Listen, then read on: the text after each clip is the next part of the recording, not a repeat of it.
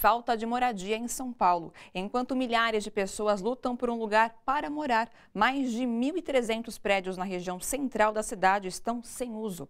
Urbanistas, arquitetos e movimentos sociais se reuniram hoje para debater como transformar esses imóveis em habitação popular. Veja na reportagem de Leandro Chaves. Quem olha para esse prédio hoje no centro de São Paulo quase não lembra que há três anos a situação por aqui era de abandono.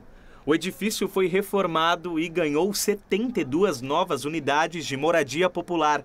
Um exemplo para uma cidade com déficit habitacional de 358 mil moradias e que possui mais de 1.300 imóveis ociosos que estão abandonados ou subutilizados grande parte deles né, são zonas especiais de interesse social. Eles foram mapeados é, em 2013, início de 2014, né, pelo próprio movimento popular, que andou de rua em rua na cidade, no centro da cidade de São Paulo, olhando esses imóveis vazios, abandonados, para que eles fossem destinados para habitação de interesse social. Em 2014, durante a gestão de Fernando Haddad, a prefeitura passou a notificar imóveis abandonados sobre a cobrança de IPTU mais alto.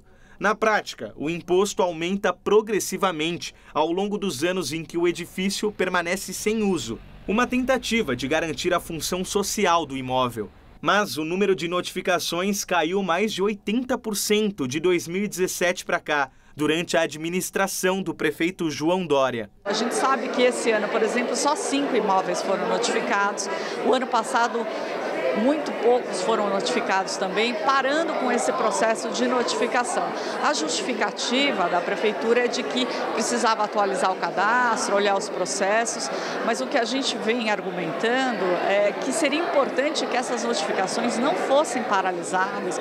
Preocupados com esses números, urbanistas e arquitetos realizaram um debate na Escola Superior do Ministério Público de São Paulo sobre a produção de habitação social em áreas subutilizadas e a aplicação do chamado PEUC, parcelamento, edificação ou utilização compulsórios. Esse instrumento surgiu do processo de debate na Constituição de 88, quando o movimento pela reforma urbana exigiu algum tipo de sanção para imóveis que estão aí na cidade apenas especulando, não cumprindo uma função de abrigar a existência de milhares de edifícios e terrenos vazios e subutilizados em áreas que contam com infraestrutura.